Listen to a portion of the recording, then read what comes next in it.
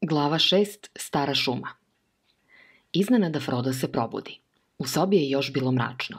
Veseli je stajao tu sa svećom u jednoj ruci, a drugom je gruvao vrata. U redu šta je? Upita Frodo još uzdrman i pometen. Šta je? povika Veseli. To je da je vreme za ustajanje. To je da je pola pet i da je veoma maglovito. Hajde, Sembec sprema doručak. Čak i Pipi na nogama. Ja baš krećem da oseglam ponije i dovedem onog što ima da nosi prtljak. Probudi onog otromboljenog debelog. Mora da ustane da nas bar isprati. Ubrzo posle šest časova pet hobita bili su spremni da pođu. Debeli Bolđer još je zevao. Iskrili su se tiho iz kuće. Veseli je išao napred vodeći jednog natovarenog ponija i zaputio se stazom kroz cestu iza kuće, a potom presekao preko nekoliko poljana. Lišće je na drveću blistalo, a sa svake grančice otkidale su se kapi. Trava je bila siva od hladne rose. Sve je bilo nepomično. I daleki zvuci činili su se bliski i jasni. Živina koja je torokala u nekom dvorištu, neko ko je zatvarao vrata izvesne udaljene kuće. U štali nađoše ponije. Izdržljive male životinje od vrste veoma omiljene među hobitima, ne brze, ali pogodne da rade ceo dugi dan. Oni ih uzjahaše i ubrzo su zalazili u maglu koja kao da se s oklevanjem otvarala pred njima, a neprijatno zatvarala za njima. Pošto su jahali otprilike jedan čas, lagano i ne pričajući, ugledaše živicu kako se odjednom digla pred njima. Bila je visoka i premržena srebrnom paučinom. Kako ćete proći kroz ovo? upita Fredegar. Za mnom, reče Veseli, i vidjet ćeš. On skreta levo i uskoro stiže na jedno mesto gde je živica zavijela unutra duž ruba jedne uvale. Tu je na izvesnoj udaljenosti od živice bio načinjen use koji se blago spuštao u zemlju. Imao je sa strana zidove od cigala koji su se postojano dizali da iznenada načina luk i stvore tunel koji je uranjao duboko ispod živice i izlazio u udubljenje sa druge strane. Tu debeli bolčar stade. Zbogom, Frodo, reče on.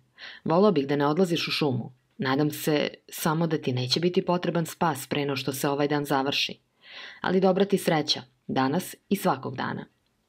Ako nema gorih stvari pred nama od stare šume, onda ću imati sreće, reče Frodo. Reci Gandalfu da požuri istočnim putem, mi ćemo se uskoro vratiti na njega i ići ćemo što budemo mogli brže. Zbogom, zavikaše svi, odjahaša niz kosinu i izgubiše se Fredegaru iz vida zašavši u tunelu. Bio je mračan i vlažan. Na drugom kraju zatvarala ga je kapija od gusto usađenih gvozdenih šipki. Veseli sjaha i otključa kapiju, a kada su svi prošli, zatvori je ponovo. Ona se sklopi sa zveketom, a prava škljocnu.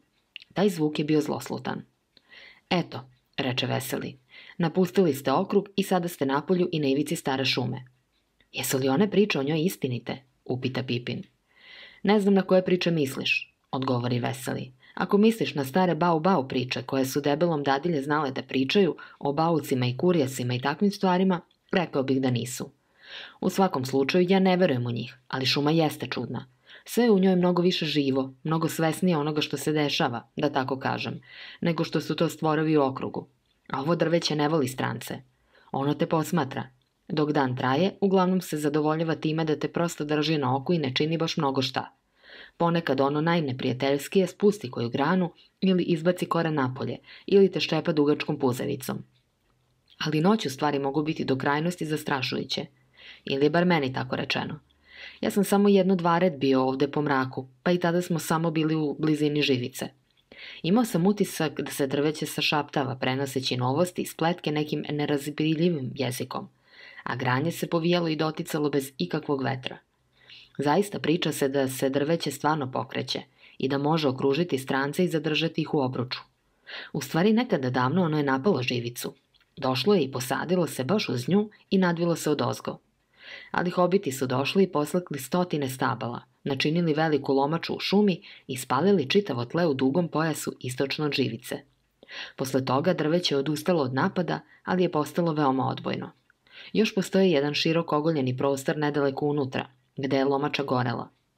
Je li drveće jedino što je opasno? upita Pipin. Ima raznih čudnih stvorova što žive duboko u šumi i na njenoj drugoj strani, reče Veseli. Ili bar sam ja tako čuo, ali nikad nisam video ni jednog. Međutim, nešto pravi staze. kad kogod zađe unutra nalazi staze, ali one kao da se na neki čudan način premeštaju i menjaju s vremena na vreme. Nedaleko od ovog tunela nalazi se ili se dugo nalazio početak jedne poširoke staze koja vodi do proplanka Lomače, a onda manje više našim pravcem, istočno i malo ka severu. To je staza koju ću pokušati da nađem. Hobiti ostaviše kapiju tunela i odjehaše preko široke uvale. Na suprotnoj strani nalazila se neka slabašna staza koja je vodila ka tlu šume stotinak i više jardi od živice, ali se ona izgubila čim ih je dovela pod drveće. Osvrćući se, videli su tamnu liniju živice između stabala koje su već bila gusto zbijene oko njih. Napred su se videla samo debla bezbrojnih veličina i oblika – prava i savijena, iskrivljena, nagnuta, zdepasta ili vitka, glatka ili čvornovata i razgranata, a sva su stabla bila zelena ili siva od mahovine i sluzavih, rutavih izraslina. Samo je veseli izgledao podnošljivo vedar. Bolje bi ti bilo da vodiš dalje i nađeš tu stazu, reče mu Frodo. I pazi da se ne izgubimo jedan od drugog, ili da ne zaboravimo na koje strani leže živica. Odabrali su jedan pravac između stabala i njihovi su i trupkali dalje, brižljivo izbegavajući mnoštvo korenova koji su se izvijali i preplitali. Nije bilo šipražja. Tle se postojano uspinjalo i kako su išli napred, činilo se da drveće biva više, mračnije i deblje.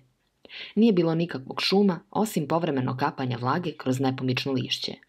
Nije bilo ni šaptanja, niti kakvog pokreta među granjem, ali sve ih obuze neko neprijatno osjećanje da se na njih motri s odbojnošću koje se produbljuje u netrpeljivost i čak neprijateljstvo.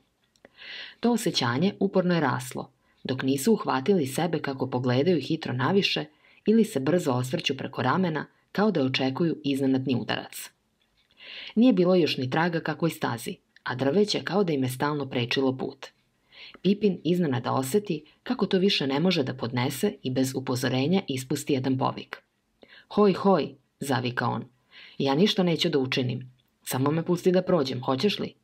Ostali stadoše prestrašeni, ali taj uzvik se utiša kao da je prigušen teškom zavesom. Nije bilo odjeka ni odgovora, premda se činilo da šuma biva zbijenija i da vreba više nego ranije. Ja ne bih vikao da sam na tvom mestu, reče Veseli. To čini više zla nego dobra. Prodo se upita da li je moguće naći prolaz i da li je bio u pravu što je naterao ostale da zađu u tu gnusnu šumu. Veseli se osvrtao na sve strane i već izgledao nesiguran kojim putem da ide. Pipin to opazi. Nije ti trebalo mnogo da nas izgubiš, reče on, ali u tom času veseli ispusti zviždu kolakšanja i pokaza napred. Vidi, vidi, reče on, ovo drveće se zbilje premešta. Evo proplanka lomače pred nama, bar se nadam, ali staza ka njemu se izgleda premestila. Svetlost je jačala kako su napredovali. Iznenada izbiše između drveća i nađoše se na jednom širokom kružnom prostoru. Nebo je bilo nad njima, plavo i čisto, na njihovo iznenađenje, jer dole pod krovom šume nisu mogli da vide dolazak jutra i dizanje magle. Sunce ipak nije bilo dovoljno visoko da obasija tu čistinu, iako mu je svetlost bila na vrhovima drveća. Lišće, gušće i zelenije oko rubova proplanka, opkoljavalo ga je skoro nepropusnim zidom. Nijedno drvo nije tu raslo, samo gruba trava i mnogo visokog bilja. Žive i svele kukute i divlji peršun i verbene sa semenom poput pahulja od pepela i neobuzdane koprive i čkalj. Tužno mesto, ali izgledalo je kao očaravajuća i vedra bašta posle guste šume. Hobiti se osetiše ohrabreni i pogledaše sa nadom naviše ka dnevnoj svetlosti koja se širila nebom. Na drugoj strani proplanka, u zidu drveća, nalazio se prodor i jedna staza iza njega. Videli su je kako zalazi u šumu, Mestimice široka i otvorena od ozgo, iako se tu i tamo drveće privlačilo i nadkriljivalo je tamnim granama. Tom stazom su odjahali. Još su se blago uspinjali, ali sada su išli znatno brže i sa više odvažnosti, jer im se činilo da je šuma omekšala i da će ih ipak pustiti da prođu neometano. Ali posle nekog vremena vazduh poče da biva topao i zagušljiv. Drveće se opet primače s obe strane i više nisu mogli da vide daleko napred. Sada su jače nego ikada osjećali kako ih neprijateljstvo šume pritiska. Toliko je tiho bilo da se činilo kao da spuštanje konskih kopitama na mrtvo lišće i povremeno spoticanje oskrivano korenje tutnje u njihovim ušima. Frodo pokuša da peva neku pesmu da ih ohrabri, ali njegov glas se utiša do šapata. O lutalice po senovitom kraju bez očaja, lako tamne traju. Svim šumama što jesu kraj dolazi i vidjet će sunce kako ih prolazi. Sunce što zalazi, sunce što se diže, kraj dana ili dan što tek stiže. Jer istočno-zapadno šuma mora prestati. Prestati. Još dok je iskovarao tu reč, glas mu se pretopi u tišinu. Vazduh je izgledao težak, a stvaranje reči zamorno. Baš iza njih sa praskom pade na stazu velika grana sa jednog starog nadvijenog drveta. Drveće kao da se sastavljalo pred njima. Ona ne voli sve to o krajevima i prestajanju, reče Veseli. Ja ne bih više pevao za sada. Sačekaj da stvarno stignemo do kraja, a onda ćemo se okrenuti i uputiti joj jedan bodreći hor.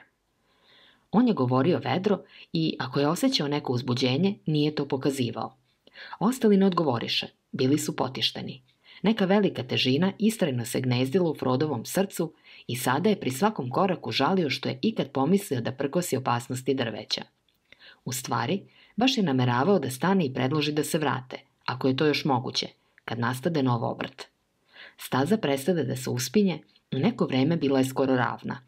Tamno drveće se povuče u stranu, a napred su mogli da vide stazu kako ide bezmalo pravo. Ispred njih, na izvesnoj daljini, stajao je zeleni vrh brega bez drveća, dižući se kao kakva ćelava glava iz venca šume.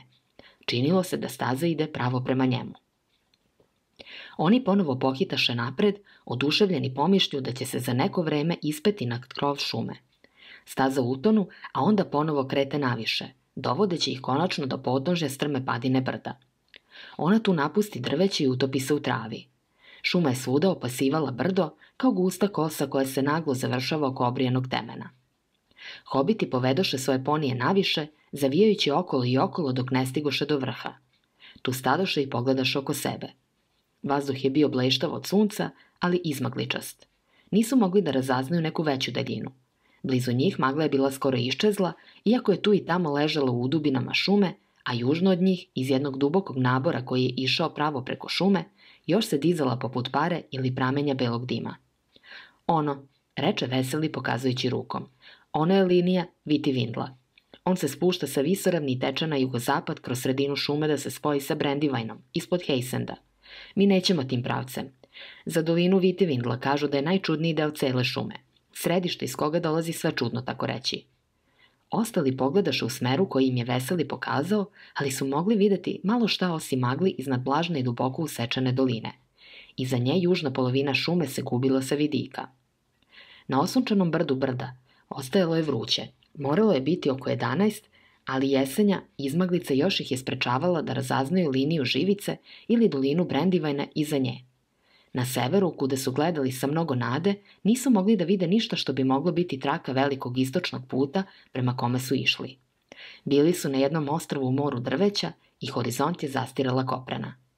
Na jugoistočnoj strani tle se spuštalo veoma strmo, kao da su se kose brda nastavljale daleko dole ispod drveća, poput obala ostrvlja koje su, u stvari, bokovi planina što se dižu iz dubokih voda. Sedeli su na zelenom rubu i gledali preko šuma pod sobom dok su jeli podnevni obrok. Kada se sunce diglo i prešlo podne, oni daleko na istoku ugledaše sivo-zelene linije visoravni što su ležali za stare šume sa te strane. To ih obodri veoma.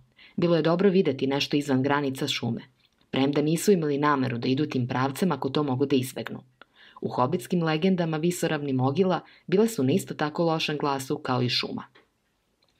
Konačno odlučiše da ponovo krenu. Staza koja ih je dovela do brda iznova se pojavljivala na severnoj strani, ali nisu je dugo pratili kad opaziše da ona istrajno savija nadesno.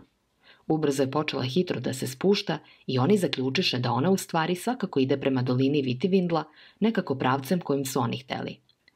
Posle malo raspravljanja odlučiše da ostave tu varljivu stazu i krenu severno, jer iako nisu mogli da ga vide sa vrha brda, put je morao ležati u tom smeru, a nije mogao biti mnogo milja dalje.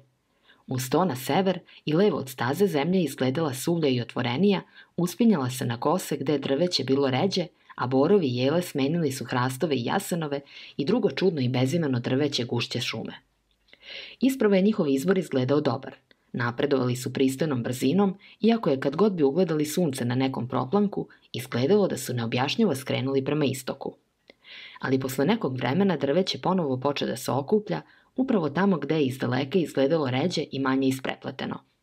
Onda se u tlu neočekivano otkriše duboke brazde kao tragovi divovskih kolskih točkova ili široki odbrambeni jarci i ulegnuti putevi dugo van upotrebe i zagušeni trnjakom. Oni su obično ležali baš preko njihove linije marša i mogli su ih preći samo šuljanjem i verenjem niz i uz njih, što je bilo naporno sa ponijima. Kad god bi sišli, nalazili bi da je ta udubina puna gustog špunja i isprepletenog šiblja, koje zbog nečega nije htelo da ih propusti nalevo, nego je stupalo samo kad bi krenuli desno i morali su da prelaze izvesnu razdavljenu duž dna preno što bi uspeli da nađu prolaz uz suprotnu stranu.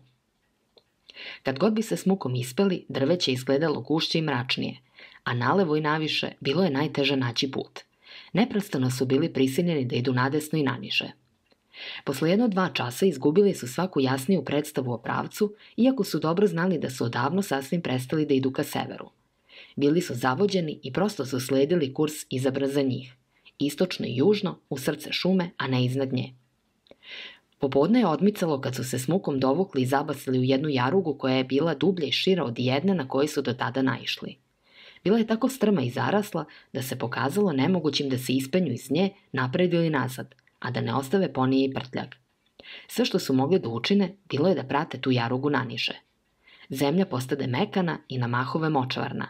Izvori se pojaviše na bokovima jaruge i uskoro razabraše kako prate neki potočić koji je kapao i mrmorio kroz zakorovljeno korito.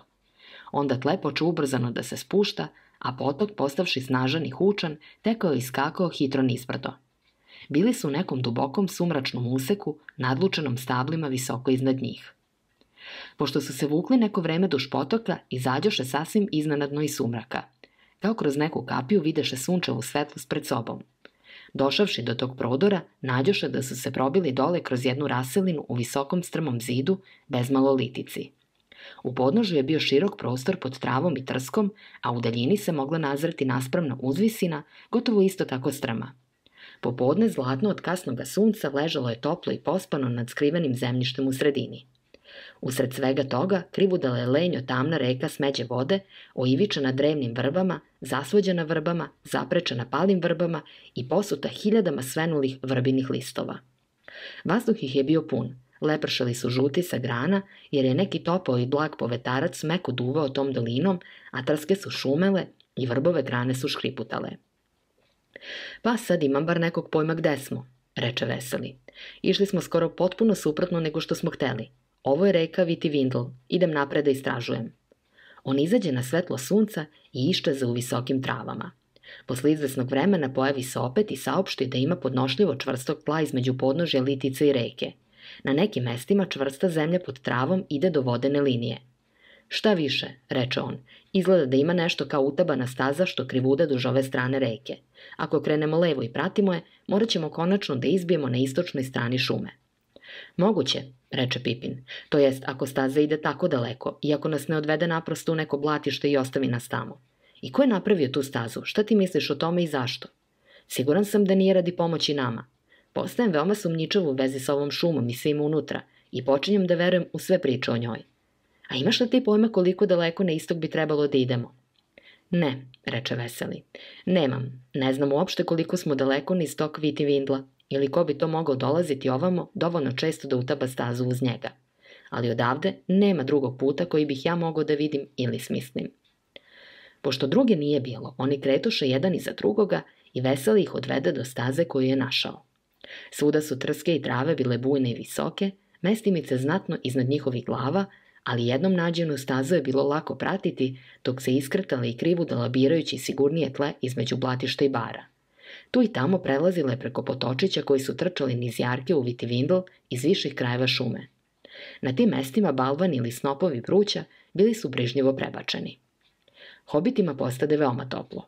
Vojske svakovrsnih muva zujele su im oko ušiju, a popodnevno sunce pržilo im je leđa.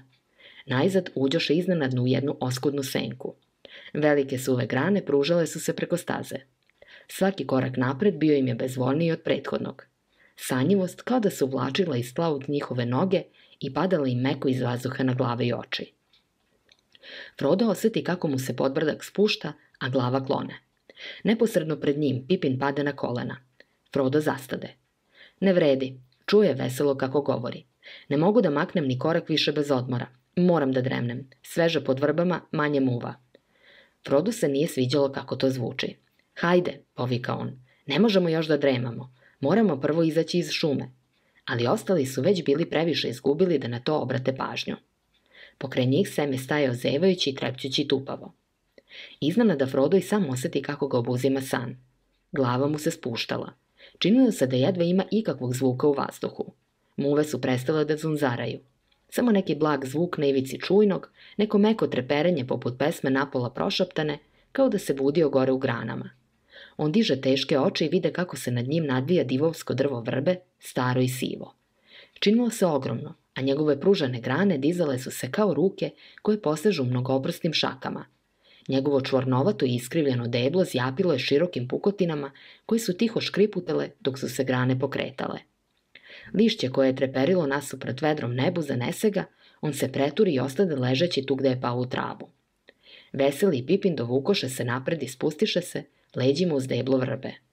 Iza njih velike pukotine su se široko razjapile da ih obuhvate, a drvo se ljuljalo i škripalo. Pogledaše naviše u sivo i žuto lišće koje se blago kretalo naspram svetlosti i pevalo. Oni sklopiše oči i onda kao da su skoro mogli da čuju reči, hladne reči, kako govore nešto o vodi i o snu. Oni se prepustiše toj bajalici i utonuše u dubok san u podnožju velike sive vrbe. Frodo je ležao neko vreme boreći se sa snom koji ga je savladao. Onda s naporom ponovo ustade. Osećao je nesavladljivu želju da sa hladnom vodom. Čekaj me seme, zamuca on. Moram pranje nogu časak. U polusnu on od baulja napred do strane drveta okrenute reci, gde je veliko krivudavo korenje urastalo u rečnu struju, poput krgavih zmajaca koji se istežu da piju. Objahao je jednog od njih i zapljuskao vrelim tabanima po svežoj tamnoj vodi i tu je i on odjednom zaspao, leđima oslonjen uz drvo. Sem sede počeša se po glavi i zemnu kao pećina. Bio je zabrinut. Popodne je starilo, ali on je ovu iznenadnu pospanost smatrao neprirodnom. Ima u ovome nešto više od sunca i toplog vazduha. Promrmlja on samom sebi. Ne sviđa mi se ovo grdno veliko drvo. Ne verujem ja njemu. Čuj pevati sada o spavanju. To tako neće ići uopšte. On se osovi na noge i odbatrga da vidi šta je bilo sa ponijima.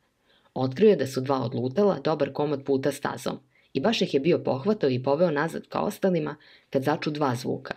Jedan snažan, a drugi tih, ali veoma jasan. Prvi je bio pljesak od pada nečeg teškog u vodu, drugi je bio poput škljocanja brave kad se vrata tiho čvrsto zatvore. On sunu nazad ka obali. Frodo je bio u vodi blizu obale, a jedan veliki koren drveta kao da je bio iznad njega i držao ga dole, ali on se nije otimao. Sem ga ščepa za kratki kaput i izvuče ga ispod korena. Onda ga s mukom dotegli na obalu. Skoro istog časa on se probudi, zakašlja i zabrbori. Znaš li seme, reče na posledku, ovo skotsko drvo zbacilo me unutra. Osetio sam to. Jedan veliki koren prosto se izvio i kvrcnuo me u vodu. Vi ste sanjali, računam, gospodine Frodo, reče Sam. Ne bi trebalo da se sedi na takvo mesto ako se osjećate dremovno. Šta je sa ostalima? upita Frodo. Pitam se kakve snove oni sanjaju. Oni obiđoše na drugu stranu drveta i onda Sem shvati škljocanje koje je bio čuo. Pipin je nestao. Pukotina uz koju je prilegao zatvorila se, tako da se više nije ni videla. Vesel je bio uhvaćen u stupicu. Druga jedna pukotina zatvorila mu se oko struka. Noge su mu ležale napolju, ali ostatak njega bio je u jednom mračnom otvoru, čije su ga ivice stezale kao klešta. Frodo i Sam udarali su prvo na podeblu gde je Pipin ležao. Onda su se mahnito borili da raščepe ralje pukotine koje je držalo jednog veselog. Bilo je to sasvim beskorisno. Takva gadna stvar da se desi, zavika Frodo pomamno. Zašto smo ikad došli u ovu strašnu šumu? Volio bih da smo svi tamo u Grčidolu. On ritnu drvo i sve snage, ne mareći za svoje noge. Jedva primetan drhta i protrača kroz deblo i naviše u grane. Lišće je šumelo i šaputalo, ali sada sa prizvukom jedva čujnog i dalekog smeha. Računam da nemamo sekiru među našim prtljagom, gospodine Frodo, upita Sam. Ja sam ponao jednu sekiricu za cepkanje potpale, reče Frodo. Da, neće biti od neke naročite koristi. Čekajte časkom, uzviknu Sam, potresan idejom na koju ga je nadahnula potpala. Moglo bi se vatrom nešto učiniti. Moglo bi, reče Frodo sumnjičavo. Mogli bismo uspeti da Pipina živog ispečemo unutra. Mogli bismo pokušati da povredimo ili preplašimo ovo drvo za početak, reče Sam kivno. Ako ga ne pusti, ja ime da ga oborim, pa ma ga mora oglodati. On otrča ka ponijima i ubrzo se vrati sa dva kresiva i sekiricom. Oni hitro nakupiše suve trave i lišće i komadiće kore i načiniše hrpu od slomljenih krančica i iseckanog pruća. Ovo nagomilaše u stablo drveta na strani suprotnoj od zarobljenika. Istog časa, kad je Sem kresnuo varnicu, ova zapali suvu travu i kovitlac plamena i dima se podiže. Pruće za pucketa. Mali prsti vatre posegoše uz suvu izrovašenu koru prastarog drveta i opekoše je. Jedan drhtaj prođe čitavom vrbom. Lišće kao da je siktalo nad njihovim glavama šumom bola i besa. Snažan krik dođe od veselog, a duboko iz unutrašnjosti drveta čuše Pipinov prigušeni vrisak. Ugasite, ugasite, vikao je veseli. On će me prestisnuti nadvoje ako nećete. On tako kaže. Ko, šta? Povika Frodo jureći na drugu stranu drveta. Ugasite, ugasite, molio je veseli. Granje vrbe poče da besno bičuje. Čuo se zvuk kao od vetra koji se dizao i širio upolje na grane sveg drveća u naokolo, kao da su bacili kamen u tihi dremešte rečne doline i podigli talase gneva koji su pretrčali celom šumom. Sem je nogama udarao malu vatru i tabanao varnice. Ali Frodo bez ikakve jasne predstave zašto to čini ili čemu se nada, potrča stazom vičući. Pomoć, pomoć, pomoć! Činilo mu se da jedva čuje zvuk sobstvenog kreštovog glasa. Odnosio ga je vetar vrbe i utapao u graju lišća, čim mu reče izađe iz usta. Osećao se očajno, izgubljeno i izbezumljeno. Iznenada on stade. Javi se neki odgovor ili je bar on tako mislio, ali činilo se da dopire iza njega, daleko dole ni stazu, dublje u šumi. On se okrete i oslušnu i ubrzo više nije moglo biti sumnje. Neko jeste pevao nekakvu pesmu. Jedan dubok zadovoljan glas pevao je nehajno i srećno, ali on je pevao bezumlje. Hej dol, vesedol, dinga dong dilo, dinga dong skoči bong, vrbi se to snilo. Tom bom, veseli tom, tom bombadilo. Upalo u nadi, a upalo u strahu od neke nove opasnosti, Frodo i Sam stadoše nepomično. Iznenada, iz dugog niza besmislenih reči, bar su tako izgledale, onaj se glas podiže snažan i jasan i pretvori se u ovu pesmu. Hej, nek je vetar dol, smehodol voljena, veso je pernat čvorak i lak vetar vremena, dok ispod brda blista u sunčevom gnezdu, čekajući na pragu hladnog svetla zvezdu. Divna kći žene reke, draga lako hoda, nežna kao grana vrbe, čistije od voda. Stari Tom Bombadil donosi mu milokvanje, opet prema kući skače, čuješ li mu pevanje. Hej, nek je vetar dol, smehodol, veselo zlatozrna, zlatozrna vedra, žuta jagodo. A ti jadni starče vrbo, nek ti odu koreni, jer to mi u žurbi sada. Dan ustupa večeri. Tom ide kući opet donoseći lokvanje. Hej, nek je vedar dol, čuješ li mi pevanje? Frodo i Sam stajali su kao opčinjeni. Vetar otkukta i stade. Lišće iznova tiho visilo na ukočenim granama. Izbi još jedna pesma, a onda iznenada, skakućući i igrajući duž staze, pojavi se iznad trski jedan stari izanđeli šešir visokog temena sa dugačkim plavim perom zateknutim za traku. Posle još jednog skoka i doskoka izađe na vidik neki čovek, ili se bar tako činilo. U svakom slučaju bio je previše veliki i težak za hobita, mada i nedovoljno visok za jednog od velikih ljudi, ali je stvarao dovoljno buke da bude jedan od njih, koračujući teško u velikim žutim čizmama na debelim nogama i jurišajući kroz travu i rogos kao krava kad silazi na pojilo. On je nosio plavi kaput i imao dugu smeđu bradu. Oči su mu bile plave i vesele, a lice crveno kao zrele jabuka, izbrazdano u stotinu bora od smeha. U rukama je na jednom velikom listu kao na kakvom poslužavniku nosio malu hrpu belih lokvanja. Pomoć, viknuše Frodo i Sam trčeći prema njemu ispruženih ruku. Oj, oj, lakše tamo. Povika stari čovek dižući jednu šaku i oni zastadoše kao da su se ukočili. No, a sada, mali momci, koje biste strani, kao neki mehovi tako zaduvani? Šta se ovde dešava? Da li znate ko sam ja? Ja sam Tom Bombadil. Kažite mi šta vas muči. To mi u žurbi sad. Nemojte da mi izgnječite lokvanje. Moji prijatelji su zarobljeni u onom vrbinom drvetu. Povika Frodo zadihano. Mlado gospodina veselog stiskaju u jednoj pukotini, uzviknu Sam. Šta? Povika Tom Bombadil, poskočivši u vazduh. Starac vrba, ništa gore, e?